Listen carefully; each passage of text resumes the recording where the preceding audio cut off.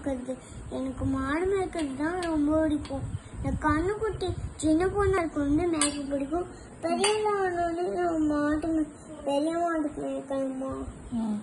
படிக்க வேண்டாமா. ஏன் படிக்க வேண்டாம்? ஏன்னா எனக்கு ரொம்ப சுறுசுறுப்பா இருப்பேன்.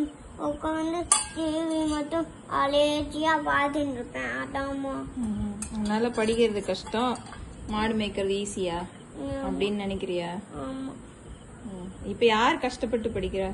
அஞ்சனுக்கு அதுவும் ஓ அவ கஷ்டப்படுறாளா? உனக்கு பாக்குறதுக்கு அப்படி தெரியுதா? என்னெல்லாம் கஷ்டப்படுறா படிக்கிறதுக்கு? லேப்டாப்ல எழுத ரொம்ப கஷ்டப்படுறா. அதுல அவளுக்கு ரொம்ப கஷ்டம் வருது. அதுல என்னமோ தப்பு தப்பா வந்துச்சு அதான் எனக்கு பிரச்சனைமா ஓஹோ.